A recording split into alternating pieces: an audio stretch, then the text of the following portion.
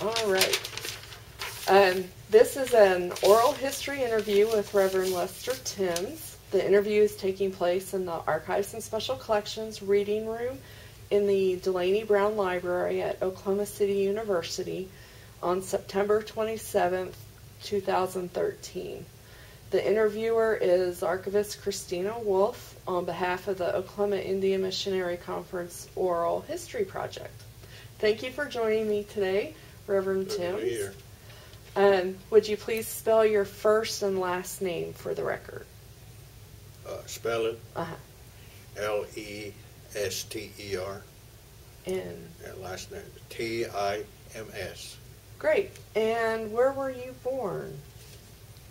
I was born in Oklahoma, and it was at the uh, among the Choctaw Indian Hospital there in uh, Lamar County. Uh, I better take that back because I'm not too sure. I think it's Lamar County, but uh, Oklahoma. That's, Oh. that's where the uh, Indian Hospital would call it. There. I was born. And so you grew up in Oklahoma? Right. uh-huh. Never been out of state till uh, I was a little over 20. Oh, wow. Well, our records show that you entered the ministry as a full time local pastor for the Indian Mission of Oklahoma in 1967. Uh, how did you decide to go into the ministry? Uh, 1967, I had thought it was 66. It could No, have wait been minute, 66. Wait a minute. You're talking about appointment, right? Appointment. Yeah, right. It, it could have been, but there, there again, I thought it was 69. Oh, wow. I might be off. or we could be off. Right. it's the written record. It should be in the journal, though. Yeah.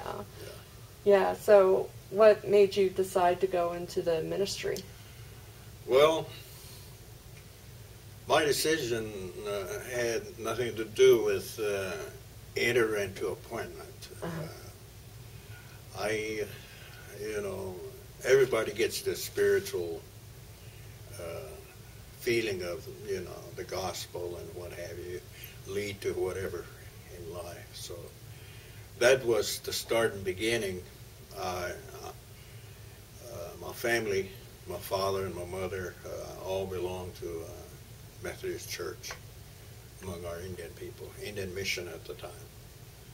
And uh, I was raised up in church, so uh, I had uh, hearing the gospel of how God calls uh, upon different ones. So I uh, did the work, local church work, uh, anything they called me to do.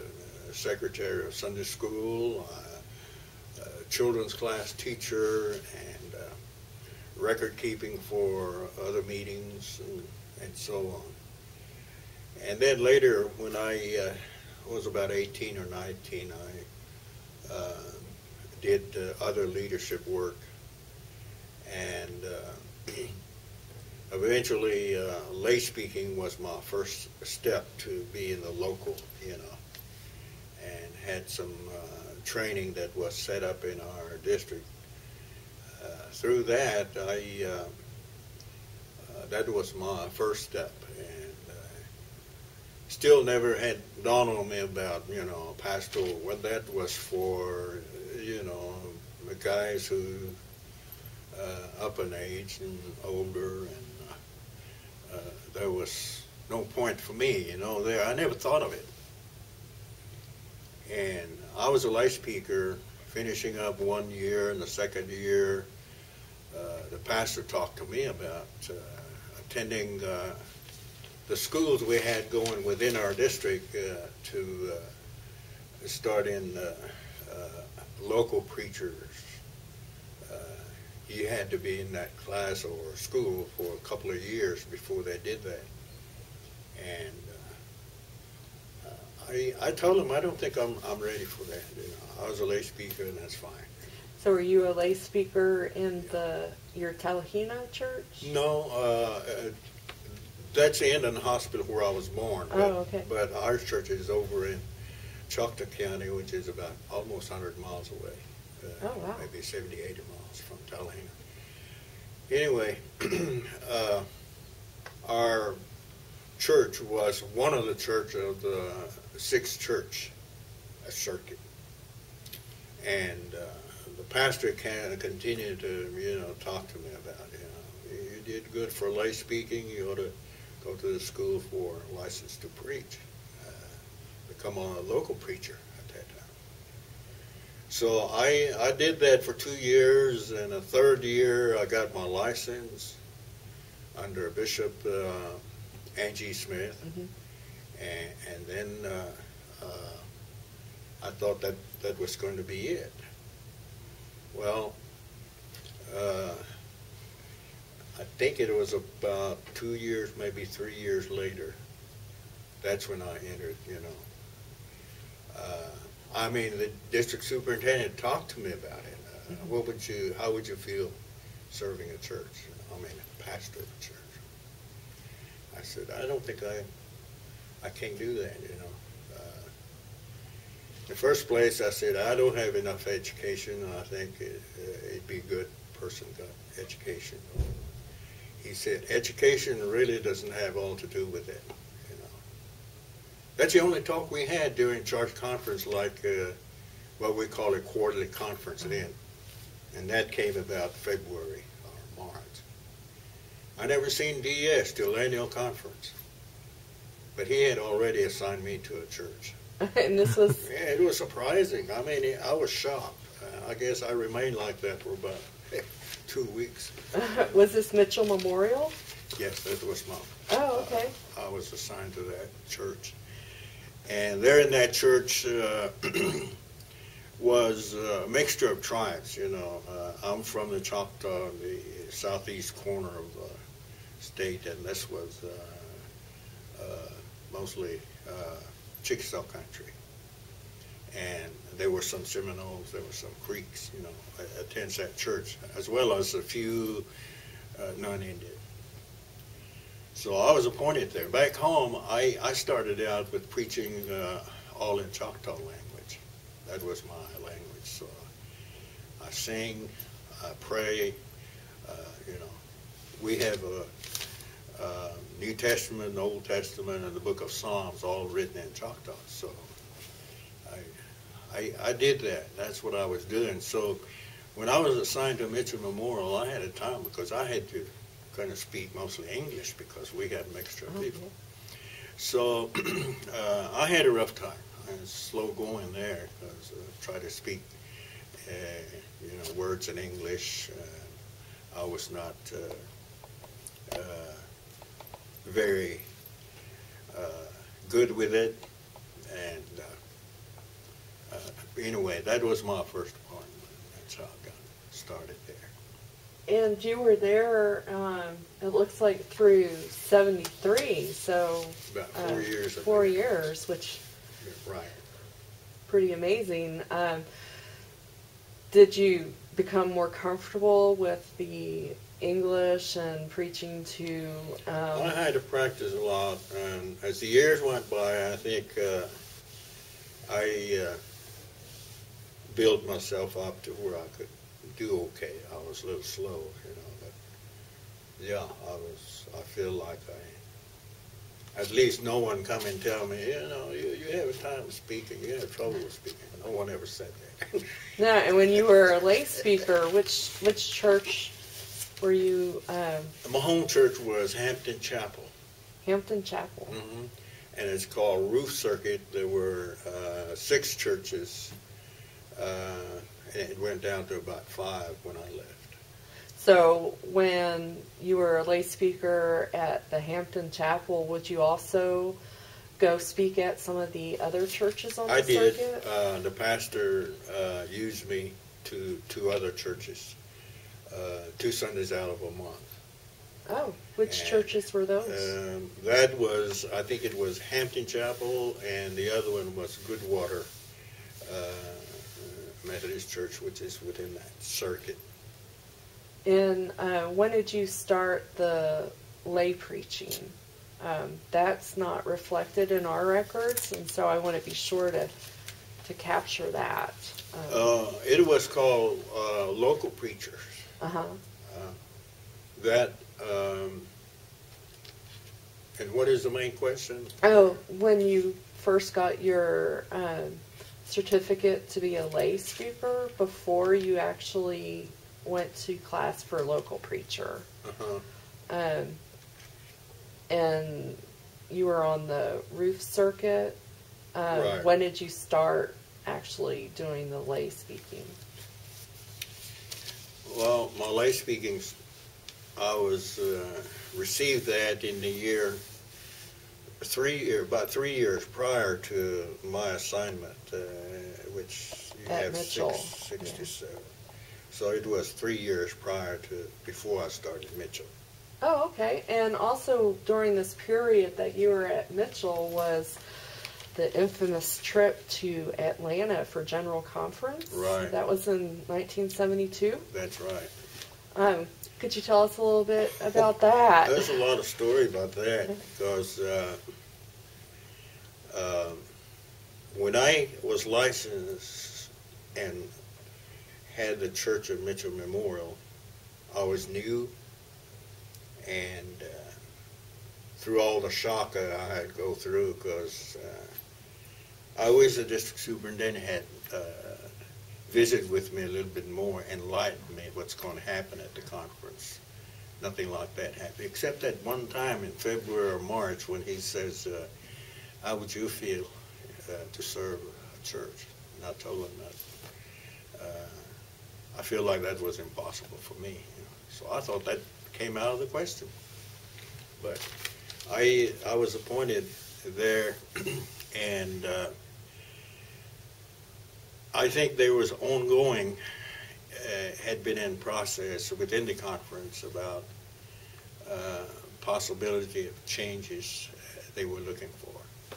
Now this was a time I I think uh, Bishop Milhouse came out of EUB and appointed to be a bishop in our in the Methodist Church and uh, starting out his leadership among uh, somehow uh, things uh, is not quite different than what used to be. I don't know what it was, but the leaders in our conference, uh, they were talking uh, very strongly about uh, making a move to some type of provisional conference. So I saw that, but I thought that was this was uh, the usual thing for the pastor. I didn't know any better. So I participated, took part in it. I, there were various uh, meetings uh, set up, you know, here and there where uh, our conference leaders called all the uh, local preachers, ordained, and some uh, laities to talk to them about, you know, their have a, possibly a discussion, a dream about uh, making a change, uh, if it is all possible. I mean, just open discussion about uh, how to go about and who they're going to try to contact and so on. And this was moving from um, the Indian Mission of Oklahoma into and uh, some type of conference. The shoot was uh, to become a provisional conference. I think that states in the journal, I mean, uh, the discipline Uh-huh. back then. So whatever that provisional conference meant, still would be tied to uh, national division, as it was called then, which is uh, global ministry now. Now, still they would uh, receive some help from them. Of course, at that time I come in, it wasn't much, you know, anyway, from, uh, as far as uh, finances. Uh, so the idea was to make some kind of move. I think what they were also talking about was to have most of our conference leaders uh, to be uh, indigenous, which meant, I guess, um, our own among our own native, uh, rather than having uh, outsiders. You know, it's, it's kind of thing. Uh, that went on. I, I think uh, uh, at the time Bishop Milhouse was new too in the Methodism, uh, but he wasn't uh, too happy with what was going on, I think. Because uh, at one time, Thomas Roughface, who was one of the conference leader at that time, he was starting out in the leadership real, real good because he had uh, uh, little work alongside with Dr. Atchison.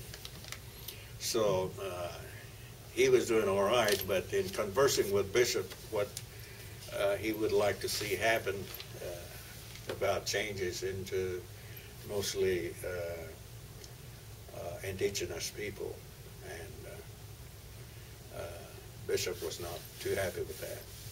So I think this, this went along all the way to even uh, the year when uh, it got stronger and involved in uh, outside of our conferences uh, uh, about inquiring how to take a step to make changes to become a provisional conference. And I heard so much about uh, provisional conference, which had, uh, you know, you could ordain your own people among the area within the conference and still be under the guidance uh, of the mission program of the church. So that's what they were kind of shooting for, but somehow, um, since uh, Bishop Milhouse is from the uh, EUB church, uh, within the EUB church there was a missionary conference, which seemed to our guys that, that that'd be just fine too, you know. So they made that move. So was that the Native American leadership that made that move, or do you think that came from Bishop Milhouse? Since Bishop Milhouse was from, I don't know whether he might have been for it because he, he would understand more what the missionary conference was. You know, he's from that uh, conference. I would, I would guess. But as far as provisional conference, uh, you know, it, it seemed like we we heard that it was pretty much would operate pretty much the same, but missionary conference was new, uh, along with a merger of uh, the Methodist Church and uh, Evangelical uh, United Brethren, I think it was. So um, we pushed for that, but it, we run into another wall. You had to that? have uh, a certain number of ordained ministers who would become member of that conference. And at that time, the figure was you got to have some, something like 25 ordained elders that could be a full member. And uh, we didn't have, you know, we had more than that. But none of those, except three, had a background of seminary Oh, and the rest of them didn't have a seminary background. So that became a problem, and so the begin the work began. You know, contacting some of the programs that uh, Perkins, which is closer to us, in Dallas. So they start uh, talking to some of the leaders, I guess, and uh, there was a guy who had uh, a program as a director of the summer uh, special program that's called Course of Study School, which is still going on today. And his name was uh, Klaus Ross. And they brought him to different parts of our conference, talked to pastors, what kind of programs they had. So um, they started working on this. And uh, the first year we went, all of our pastors, we had uh, somewhere in the 60s, you know, number of pastors. And some of these guys, several of them, even from my own area, uh, Southeast District, uh, they can't speak English, I might say. In fact, one of them uh, uh, uses only, you know, Choctaw uh, in his reading and everything. So uh, they had a time on our first year because they went too. But they went, you know, when the conference decided to do this. And some of the pastors who were leading us uh, uh, to see uh, changes that might happen felt pretty good about it because uh, that was encouraging us, even though they can't preach in English. They attended school. We had to have special uh, reading class set up for for them uh, through the school, and, so they made it. How long of a process was was the course of study to? Uh, within our conference or Mhm. To get your um, elders with the seminary background in order It- to qualify. When I look back, because this was, like I say, it, it seemed like it was going on when I came in. And to the time we ended up in Dallas school, and then comes this uh, general conference. And what happened was after we went to Dallas, either after that first year, the second year, I don't know which, but there was uh, uh, uh, extended program that took place here in OCU, uh, where professors from Dallas, Perkins, would come out and teach uh, either one course or two uh, in, in January, first week and second week, during the time the school is out for the winter. Uh, and we did that, and that was to to push us to have one year of school, and uh, in two years, the uh, the extended program would push us to one more year extra, you know, and so on, speed us up towards that general conference uh, that was coming up, which is uh, 69, 70, 71, 72. So I'm talking about that year where there's one, two, maybe three more years before general conference. And they were shooting for this uh, possibility. So I, my guess is either one more uh, sessions of school we lack before finishing all of that. But I think the general conference, you know, because of what we were doing, in order to attain that uh, uh, seminary background, Mhm. The general conference somehow went ahead and uh, granted us to be a missionary conference. Uh, so you went from lay speaking, telling your district superintendent, not for me, the local preacher, to being assigned to suddenly going into seminary, getting fully ordained, mm-hmm. and then you go off to general conference in 72, and that was in Atlanta, Georgia. Right. Can you tell us about your experiences there? Oh, yeah.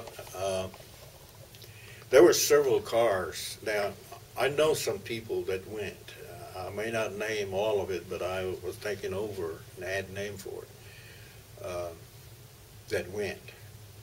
We didn't have no bus, no chartered bus or anything like that. Every one of those that had uh, a good car, you know, they are not afraid to drive a distance, uh, is the one that took. And took with them one or two people because it's going to be a long drive. And uh, we were, as far as I can remember, asked to take some bedding with us, you know, like uh, uh, two quilts or three, uh, two to make bed and one to cover, and uh, a pillow. That was our uh, sleeping. And there were several cars going. So I, I rode with the Reverend Lee Chupco, this Creek uh, ordained hmm pastor at the time, and a layperson. There were three of us in the car. His name was Elmer uh, Berryhill. They took turn driving, you know, from, we left from Henryetta, Oklahoma to, uh, I believe it was Memphis, where we stopped at the Methodist Church. And uh, next day, we continued on to uh, Atlanta. When we stopped at Memphis, uh, we sleep at the Methodist Church, which was prearranged, you know, where we could stop by to rest and sleep. We didn't sleep in motel. We slept on classroom floor, you know, concrete floor. And uh, next morning, we continued on to Atlanta and did the same. Uh, there in uh, Atlanta, uh, we arrived at the Methodist Church there. The funny thing was, you know, this was uh, Peachtree United Methodist Church on Peachtree Street. hmm And uh, that's where we stayed in that week each night. We slept on that floor.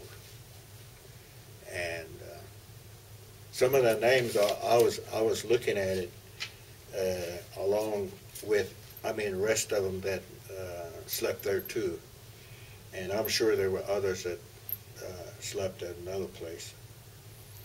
Uh, and there were Bob, uh, Bob Penzidley, Thomas Roughface, uh, Reuben I. Haiti, Thomas Long, David Long Sr., Harry Long, Lee Chupco, Forbes Durant, Samson Tims, Lindy Waters, Kenneth Deere, Oliver Neal, Earl Dunson, Nicholas Durant, and there was a vocal layperson, which I came to know long about that time. His name was Calvin Chisholm. And we also had Homer Noley, who uh, is originally from, you know, our our mission church, Mission Methodist Church at that time. Uh, he worked along with us. Uh, I think he was stationed in another church somewhere in Kansas, but he helped us along with his knowledge and understanding about conferences. So uh, those were the people that that went, and uh, I always, you know, from that time on, I, I felt like these guys were, uh, and looking back even, as giants of our Mission Methodist Church. I recognize Icon. almost all of those names. Yeah. Uh, you know, an icon, you might say, Yeah. of, of the beginning of the missionary conference. Who uh, fought night and day. They traveled. Uh, some of them uh, to Nashville. To uh, they had brought uh, uh, one guy. I never got his name, uh, but he was from a missionary conference that already had going in Kentucky. Uh, and uh, he came and met with us and explained how they uh, how that works as a missionary conference to enlighten us, you know, what uh, the missionary conference was like. That was one of the things that happened as it went along. So it was, you know, constant move. We didn't have the funds, but everybody donated what they could uh, on their own, I guess. Uh, and uh,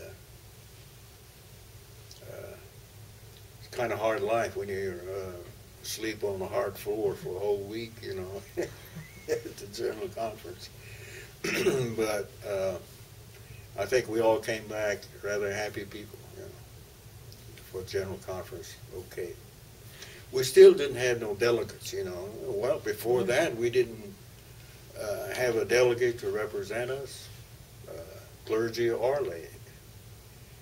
So uh, we was out there just like a, a bunch of crowd or where they're from. You know, a lot of them didn't understand what's going on. But with our um, delegation that went, you know, was pleased with the outcome when we were granted to be a, a missionary conference. So, did you notice uh, any changes from being from going from a mission to a missionary conference right off, or did it take a I think it's while? a gradual thing because everybody kind of had to uh, reorganize because with from there to within a year, um, we call it um uh, conference superintendent now, but at that time it was called general superintendent, where Dr. Edson was. He had to go off. We didn't have any uh, between Bishop and uh, the district superintendent. There were four, four of them. Uh, so that change came about within, uh, I'd say, about a year after we became a missionary conference. That was the change. Plus, by two years uh, assignment, there were two more program area directors. Uh, there was Frank Wheeler, and there was a lady that worked with us. Uh, I got written down somewhere, but I I forget her name. She was from uh, Eastern State, like Carolinas or Pennsylvania, somewhere. Uh, in fact, uh, during a mission uh, trip to churches uh, to speak, you know, uh, as a local church would request, uh, I met her. you know, she had been in this conference before. So those three were no longer there. It was replaced with our own natives and gradual thing. But uh, during those changes along there somewhere, Tom used to tell us that when our leaders, the ministers who were capable leaders in our conference, uh, were pushing for these changes, the bishop got so upset that he told them one time, he said, y'all just getting too big for your britches.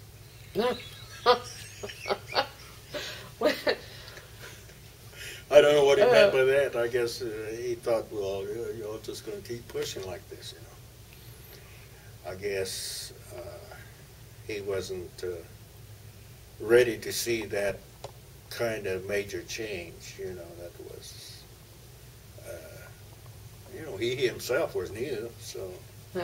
Did he ever come around? Uh, I don't think he did. In fact, uh, he was the less of when we have a conference to stay on the ground, have lunch and supper mm-hmm. or breakfast. He never did do that. Hmm. When did uh, would that be Bishop Hardt when you started to see more? Just about, yeah. Uh, Bishop Hardt did a little bit more of that, and I think lunch uh, and supper he would be around, you know, to eat along with, you know, the campers, but since then, gradual change and uh, made it where any bishop that came afterwards, I think, pretty much stayed with our people. Great. So, um, wow, after your trip to Atlanta and, and you come back and you're still at Mitchell Memorial, and then you go on to um, Paris Hugo, Jacob Memorial, right. and William Anderson. Right. Um, and then Antlers, Hugo, and the parish charge. Um, and then he switched to less than full time local pastor. Right. Um, I think uh, while I was still at those three churches, Hugo, Antlers, uh, I was a former uh, printer in the commercial printing when uh, they assigned me to a church and uh, district superintendent told me that uh, you're being assigned as full-time, so you need to quit working. I quit, but you know, uh, at that time, $150 a month, but all I get was uh, uh, not quite enough for me, my wife, and one kid. You know. so uh, later on, I I went back to work and was part-time from 78 to, I think it was Yeah, 86? 86, right. Yeah, and then um, how did you decide to go back full-time? that was another step. At, uh, uh, I was working in a print, printing shop there in Ada, Oklahoma. And uh, how much time we have? Oh, how much? Oh, about 10 minutes. Okay, I, I can finish this part. I was at Ada doing part-time 1978 uh, 1985, 84, uh, somewhere along in there. The First Methodist Church in Ada, uh, you know, and they were members of the Methodist Church, these guys who run the business of printing. And, and so uh, Bishop Hardt was preaching revival at, there uh, in Ada, First Methodist Church. And he knew about me, you know, uh, around Ada, and was a printer, and I think somehow a connection was made. So he, he come to visit. That was uh, second. It could have been second time, uh, but he came uh, uh, as the press the press machine kept running. You know, he came back there and chatted with me a little bit. You know, and uh, he said, "When are you going to go come back to full time? We need you in our conference." You know. I said, "Well, uh, I understand. I'll get back someday, but I don't know." I said, "I got bills to pay, and that's why I work on the side." So that was it. But later he calls me, and then uh, they have meeting going on here in the city. He called me up. I wants to come down after the meeting, I want to visit with you, and so on. So he he stayed on it. One day, I, I told Bishop, I said, "Well, uh, whatever you want to do," I said, "I, I know I'm, uh, you know, Methodist minister, and uh, uh, whatever you do," I said, uh, "I have to do what what you want me to do." So I just left it with them, you know. But that was it, you know. I, I sold myself down the river. I, Yeah. did, I didn't know that. because then he made you the Southern District Superintendent. Yeah, yeah. That charge was- everything. From the time he asked me, when you going to come back, was his first. When you come back, be a full-time. We need some full-time leadership, he says. And then next time he, he, he meets me, why, he run over the same thing again. Until he visited, and the third time or second time, he, he visited with me there at workplace. So, I think it was either that third time or fourth time when he said a district superintendent, uh, they want to make a change. He, did, he didn't say where. And has possibility that this might be something that we want you to do, you know. Then I thought, oh, that's too much for me, you know. But anyway, it ended up happening. Seemed like uh, from the beginning uh, to be a lay speaker was twisting and turning on me to get me in there, you know. And so I guess when I retire, I, uh, you know, I look back. It's, I think it was a blessing. Uh, you know, the Lord truly was present all the way. And if it wasn't for that, you know, I wouldn't have made it. Well, um, we're almost out of our time, and so I want to be sure to thank you again for coming, and Well, it's um, good to be here. And I hope that we can continue the discussion um, further. Do you still plan on attending annual conferences? And Oh yeah, I even attended uh, pastor's meeting already. oh, are they going to rope you back in? No, I hope not. With I hope not. But you know, uh, I didn't mind just being there. I don't want to say, you know, because I miss, you know. Not on camera anyway. Yeah, yeah. So that's, uh, like I told the conference, and I'll be around, you know. Oh, terrific.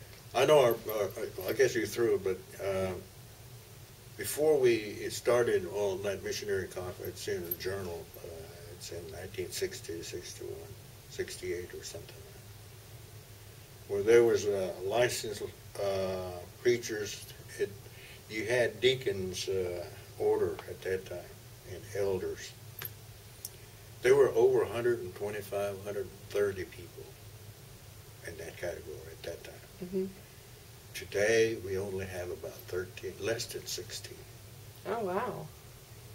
And those who are coming in to be a, uh, what is called now a local pastor, uh, uh, there's about less than 20. So you put them all together, you only have about uh, 50 compared to Yeah. 130 at that time. So uh, Need to do some arm twisting. Get that's some. us. Now, Somebody needs to do some Yeah. arm twisting. Uh, I remember, even though Milhouse was new and everything else, but one thing I still can recall and hear his voice. He said, "Whatever you do, when you set your goal, set the goals that's reachable. Don't set the goals that you can't reach." I think uh, I've seen times when our conference pretty much uh, recklessly set goals, you know, that's uh, few falls away from it, you know, before it gets completed.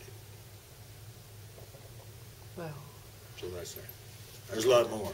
you know. yeah. Oh, I'm sure, and we'll be talking to you again. I hope. Sure, any anytime. I, let me know ahead of time, and uh, uh, I may locate those journals I was Oh, talking okay. about. I, I kept, you know, like uh, 64, 65, 66, and all of that. It's supposed to be in the box, but that's another thing. Yeah. When I look back, in 20 years, I moved uh, four times or five times. And uh, that would be four years at a time average, you know. If you carry your stuff around uh, that many times, you know, you don't know where they're at. Sometimes you're still in the box by the fourth year and you move again. And uh, it's a good thing I had I had a chance to uh, go, uh, you know, those years, 78 to 85, uh, less than full time. Uh-huh. I was working and able to uh, request through uh, FHA program and uh, bought a two acres house on it. And, and so we got a little place where I could store some things. I don't have to carry it around, you know. So there's a bunch of stuff there. The other day I was going through, but you know, a mouse got in it and had a big hole in those. Big, I mean, Ah. books stacked like that. Yeah. So a lot of stuff gets ruined when you get moving like that. Oh yeah. So uh, that's the sad part about moving here and there. You know. Anyway, so much for that. Is that pretty much over. Yeah. Is it over? Yeah.